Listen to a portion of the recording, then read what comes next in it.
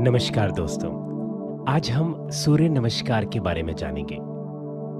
सूर्य नमस्कार 12 स्थितियों से मिलकर बना है, जिसमें से प्रत्येक का राशि के 12 चिन्हों से संबंध है। शरीर के सभी जोड़ों व मांसपेशियों को मज़बूत करने का यह एक अत्यंत प्रभावशाली तरीका है। 12 स्थितियों में से प्रत्येक स्थिति के साथ एक मंत्र भी जुड़ा है। यदि आप चाहें तो इन मंत्रों का भी जाप साथ में कर सकते हैं। प्रातःकाल सूर्योदय के समय इसे करना श्रेष्ठ माना गया है। तो आइए देखें कि सूर्य नमस्कार की उन बारह स्थितियों को किस तरह किया जाता है। सबसे पहले सीधे खड़े होकर दोनों पैरों के पंजों को मिलाएँ।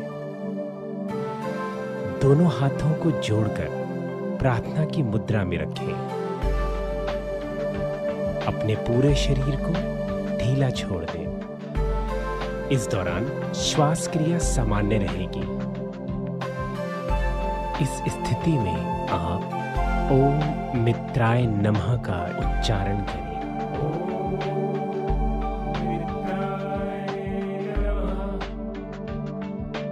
दूसरी स्थिति हस्तोत्तानासन लंबी गहरी सांस अंदर भरते हुए पीछे की ओर झुकें। दोनों हाथों को सिर के ऊपर उठाएँ। इस वक्त आप विशुद्धि चक्र पर ध्यान लगाते हुए ओम रवये नमः मंत्र का उच्चारण करें। तीसरी स्थिति, पादस्थानासन। गहरी सांस बाहर छोड़ते हुए सामने की ओर झुके। दोनों हाथों को ज़मीन या पैरों की उंगलियों से स्पर्श करने का प्रयत्न करें और पैरों को सीधा रखें। पेट को अंदर की तरफ़ से कोड़ें। इस वक्त आप अपना ध्यान स्वादिष्टान चक्र पर रखें और ओम सूर्य नमः का उच्चारण करें।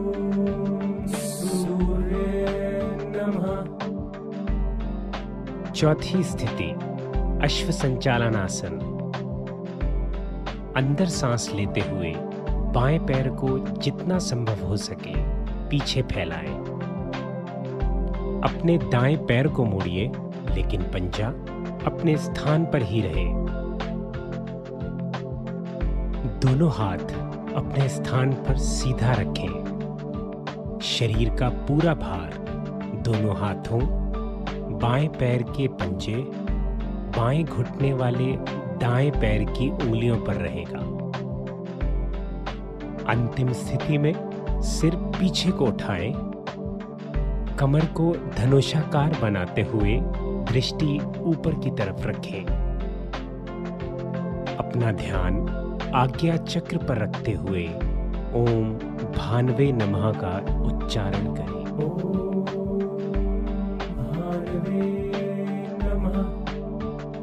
पांचवी स्थिति, पर्वतासन। सांस बाहर छोड़ते हुए, दाएँ पैर को बाएँ पैर के पास रखिए। अपने नितंबों को ऊपर की ओर उठाएँ और सिर को दोनों हाथों के बीच में लाइए। कोशिश करें